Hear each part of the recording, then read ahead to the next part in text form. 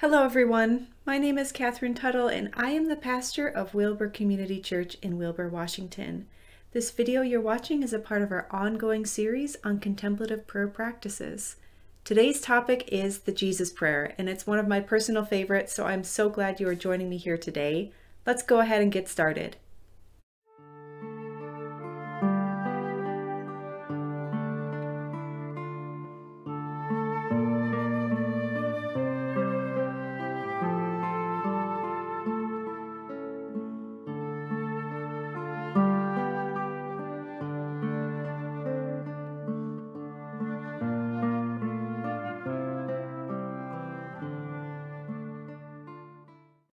Thank you again for being here with me whenever you're watching this video. I would like to start by just checking in with you and, and how you're doing, how you're processing this COVID-19 crisis, what's been helpful for you, what's been hard for you. Let me know in the comments below how you're doing. Uh, today's practice is uh, based on the Jesus Prayer, and this is one of my favorite prayer practices. It's something that I do probably every day, if not if not multiple times a day. And it's very simple, like many of the other prayer practices we've gone over in this series. It's not something you need special equipment for, you don't need special books for. You can do it at home, you can do it when you're walking. Uh, it's very, very easy in some ways and very challenging in other ways, um, but very accessible to really anyone and that's what I love about it. So you can kind of see a theme forming with these these prayer practices and and prayers that I use in my life and and ones that I gravitate towards. So let's start just by uh, doing a little bit of history on where this prayer comes from.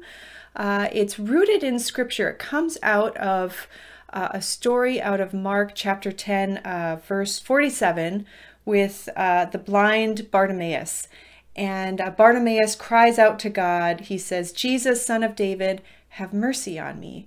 And so that's really at the heart of this prayer is, is those words. And there's been different translations of that uh, and different interpretations of that. So when I say this prayer, I tend to say, Lord Jesus Christ, have mercy on me, a sinner. Uh, another book I was reading said by Dan Wolpert, uh, Creating a Life with God, he says, Jesus Christ, Son of God, have mercy on me. Or Jesus, Son of God, have mercy on me, a sinner. So there's lots of different variations you can do. And if you look into this, you'll find lots of different variations, but it's always centered on Jesus and mercy. And if you didn't catch my uh, my Easter service, which I think is episode seven, uh, it's very centered on mercy. I've been thinking a lot about mercy lately because it's something that I feel I need so much of. And during this COVID 19 crisis, something I think our neighbors need so much of. And so anything I can do in my my devotional life to be pondering the nature of mercy is something that I, I really want to be engaging with right now. Uh, I don't know about you. Let me know in the comments below. So anyway, this this Jesus prayer comes out of this story in Mark, and it was used by uh, Eastern Orthodox monks uh, for centuries. Uh, we don't really have a lot of the history of, of how it started and who used it, but we do know that it became more popular in the late 19th century after the work The Way of the Pilgrim was published. And it was published by an unknown Russian and it goes over this this prayer practice and and how this person used this prayer practice in their life and the different um, how it really transformed them. And for me what i have found to be most transformative about this prayer is that it really calls us to proclaim jesus as our our lord and savior and to call attention to our own need for mercy and uh, I grew up Catholic, as many of you know, and so repetitive prayers come pretty naturally to me. And this is a lot like our centering prayer that we did, I think, in our first midweek episode, the centering prayer, where you use a word or a phrase repetitively to bring you back to a place of, of stillness and attention to God. And this is like that in some ways with the repetition. Um, but it's a little bit different because it's more of a continuous repetition. So uh, let me just explain a little bit about how I use it in, in my life, and that might be helpful. So I will be out on a walk, and I will just repeat to myself over and over again, Lord Jesus Christ, have mercy on me, a sinner. Lord Jesus Christ, have mercy on me, a sinner. Lord Jesus Christ, have mercy on me, a sinner. And I'll just repeat that for as long as I need to, uh, just to really remind myself of the presence of God, my own need for mercy, and to be paying attention to how God is speaking to me in my life. It's also a prayer that I do at home with my, my family. Many of you know that I have young children at home. And so, again, getting out a book is not something that's really conducive to prayer in my in my home life right now. So something that i can do in, in, just in my mind is is very beneficial for me. So when i'm holding my babies i can be saying this prayer. When i'm doing dishes or laundry i can be saying this prayer. It's something that that really calls us to to pray without ceasing which is another scriptural reference to really be thinking of how our our daily work our daily labors and our prayer life can be intertwined together. And so uh, that's kind of that's kind of the Jesus prayer in a nutshell. This is going to be a little bit of a shorter episode this week. And so I'm curious if this is something that, that you've heard of or not heard of. Let me know in the comments below if this is a part of your practice already. I would love to hear about your interpretations of how to do the Jesus prayer.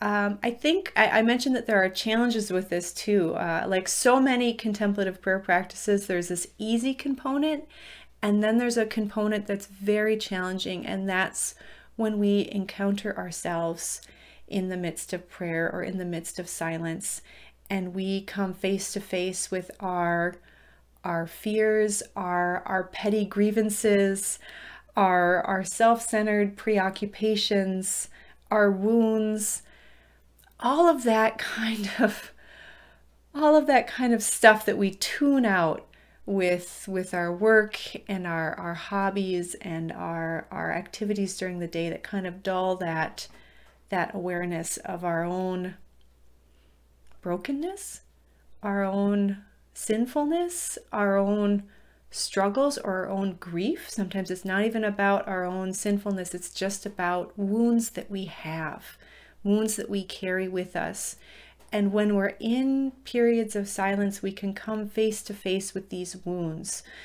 And that's another reason why I wanted to do this contemplative prayer series with you is because even if you're not practicing contemplative prayer at home, just being at home as much as we all have been this last month, you may have encountered parts of yourself that you are uncomfortable with, parts of yourself that is painful to face for a variety of different reasons. And so prayers like this can be both challenging because we face that in those moments of silence, but they can also be really healing because we are reminded that God is dwelling with us in those painful spaces. And and again, that's another reason why the Jesus prayer for me is a personal favorite because it does draw attention to that need for mercy and that call for God's mercy in our lives. So when I am kind of holding up that mirror in front of myself and I, am just seeing all of the the brokenness and wounds of my life, all of my my failures and pettiness, to be reminded that I need God's mercy is um, is something I never get tired of, and that's a reason why I say this prayer almost daily. Uh, of all the prayer practices, this is um, this is definitely one that I go to the most. The the author I mentioned earlier, Dan Wolpert, in Creating a Life with God, he says that he likes to say this prayer when he can't sleep at night, and I thought that that was that was a really good idea. It's not something I do that sometimes, I suppose, but uh, there's lots of different places and ways that you can be using this prayer to remind yourself of God's presence in the midst of, of difficulty. So let me know in the comments below where you could see yourself using this prayer.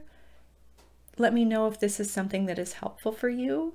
Uh, just try it out this week. Just give it a go. Uh, maybe the language, uh, Lord Jesus Christ, have mercy on me, a sinner, is is too long for you, or or doesn't fit in with your own spirituality. So maybe something simpler. Jesus, have mercy. Jesus, have mercy. Jesus, have mercy on me. Something like that. Just try that out as a as a repetitive tool in your prayer life while you're you're walking around or while you're doing your chores, or while you're going about your day, to enter into a space of prayer without ceasing. And I would love to hear how that goes for you this week and what joys and struggles you might encounter with that. Know that you are not alone at home, that God is with you, and that your community continues to pray for you, and that I love you and I am here for you reach out with any questions or concerns that you might have. I will be posting another video this Sunday on the, I think it's the Road to Emmaus this Sunday. So we'll be talking more about mercy and discovery and journeys with God. Thank you so much for joining me tonight. Stay home, stay healthy, and I'll see you next time.